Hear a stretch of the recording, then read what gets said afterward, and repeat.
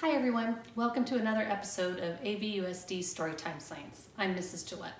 Today's story is Ninja Red Riding Hood, written by Corey Rosen Schwartz, illustrated by Dan Santat, and read today by Vicki Doe, AVCI Explainer, Class of 2021.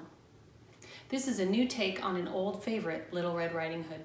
Throughout her time with the wolf, Red called attention to the animal parts that are different from her granny. Have you ever wondered why the same part of an animal, like the ear, is different from one animal to the next? Stay tuned after the story for an activity exploring animal ears. Ninja Red Riding Hood by Corey Rosen Schwartz, illustrated by Dan Santat, read by Vicki Doe. Once upon a ninja filled time, a wolf couldn't catch any prey. He kept getting licked by the dinner he picked and was growing more ticked by the day. His belly was aching for bacon. I'm wasting away, he complained. To huff and to puff was no longer enough, so he snuck into school to be trained. He practiced his katas for hours and mastered the whirlwind and wheel. He jackknifed and flipped and at last felt equipped to once again catch a good meal. Drooling with anticipation, he set off in search of some meat. While deep in the wood, he met Riding Hood. I'm bringing my grandma a treat. The wolf licked his chops when he saw her and hastily thought up a plan. There are blossoms that way you can pick a bouquet to give to your little old gran. Then the wolf took a shortcut to Grandma's, where he thought that he'd find her in bed. But Granny was gone, so he put her robe on and eagerly waited for Red. Soon after he heard someone knocking. He called out, My dear, come on in. Oh, don't you look good in your lovely red hood, but a shame that you've gotten so thin. Little Red took a look at her granny and said, What on earth did you do? I could swear that your eyes have completely changed size. Hey, Gran, are you sure that it's you? Of course it is me, my sweet darling. The better to see you, my dear. And your ears are so long, something really seems wrong. Oh, my girl, all the better to hear. And those biceps, my gosh, they look massive.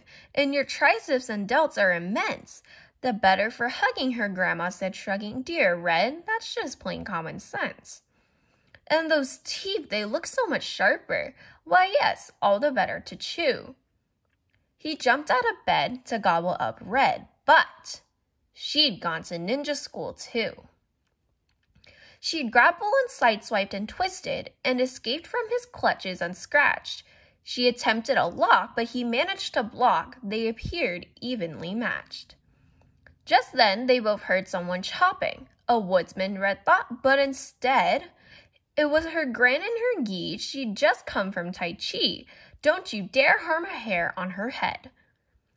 The wolf took a swing at that instant but Red deftly dodged the attack. She got a good grip, threw him over her hip, and the wolf wound up flat on his back. I'll skedaddle, the wolf said in anguish as he struggled back up on his feet.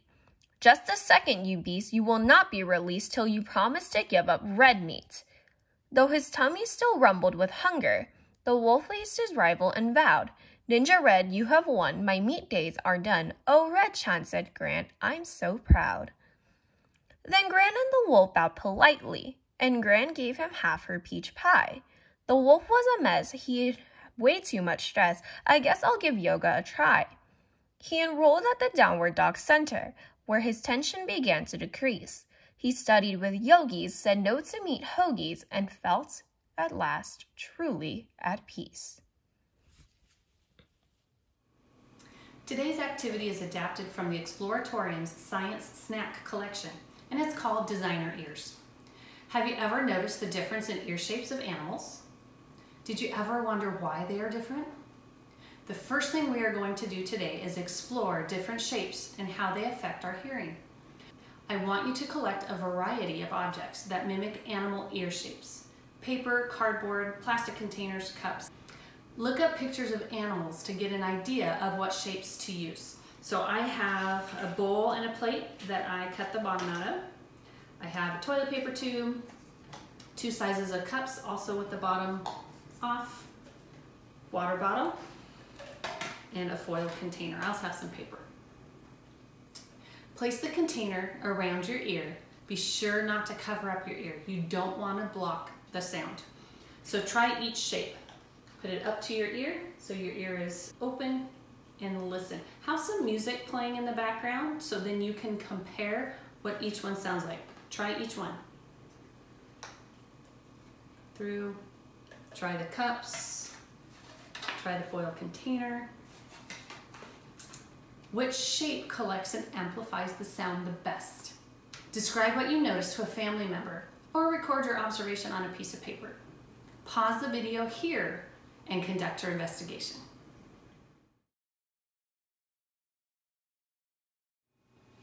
Welcome back. Did you notice that the larger ears help you hear better? Here's the science behind ear shape. The outer ear of most animals acts like a funnel, collecting and directing the sound into the inner ear from them. So it comes in, goes into your ear, and into your brain. The brain then takes that information and helps us understand what is in the world around us. Animals with large ears generally hear better than animals with smaller ears that might rely on a different sense, like sight. Big ears can also help avoid predators, locate prey, and find members of their family. Now that you've explored the sound and learned more about the different ear shapes, I want you to design and construct a new set of ears that will help you hear better. Do you want long tube-shaped ears like a horse? Or small pointy ears like a cat? Can you combine shapes into something new and unique? What can you do to help the ears stay on your head? Sketch out your design before you create your ears. Be sure to take pictures along the way and send them to your teacher to share your designs. I can't wait to see what you come up with. Keep checking back for more videos over the next couple of weeks. Until I see you again, stay curious.